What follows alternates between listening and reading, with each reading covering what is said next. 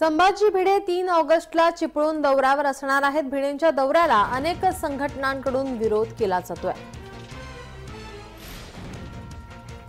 संभाजी भिडे हे तीन ऑगस्टला चिपळूण दौऱ्यावर आहेत. मात्र या दौऱ्यात आधीच संघटनांकडून विरोध दर्शवला जातोय. बारा संघटनांनी एक निवेदन स्थानिक प्रशासनाला या संदर्भात दिलं आहे.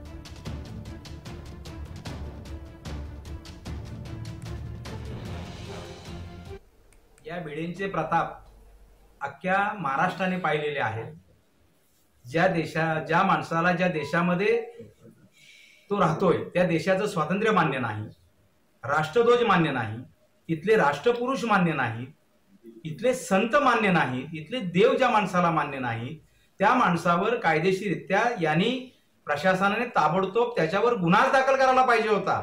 तो आज तागायत गुन्हा दाखल का झाला नाही? हे कोड आहे.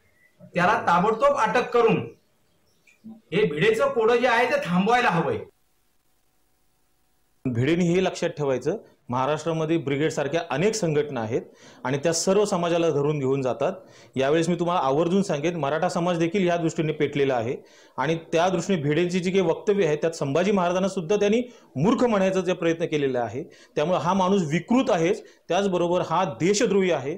अशा माणसाला जर चिपळूणमध्ये यायचं असेल चिपळूणकर जे लोक त्याला आणण्यात असतील ते माझ्या दृष्टीने ते देखील दोषद्रोही आणि तितकेच पात्र असतील असं माझ्या मते मला वाटतं. आणि ह्या भिड्यांना जर चिपळूणात यायचं असेल तर त्यांना आमचा विरोध टाळून यायचा आहे. हा आजच झालेला प्रकार याही अगोदर दोन तीन वेळा त्यांनी अशा पद्धतीने महापुरुषांवरती देशाच्या स्वातंत्र्यावरती संतांवरती अशा पद्धतीचे आरोप केलेत. आणि त्याही नंतर जर प्रशासन त्यांच्यावर कारवाई करत नसेल तर कधीतरी असं वाटतं की याच्या मागे मग प्रशासन त्यांना सपोर्ट करतं की काय? तर त्याशिवाय या अशा गोष्टी घडू शकत नाहीत.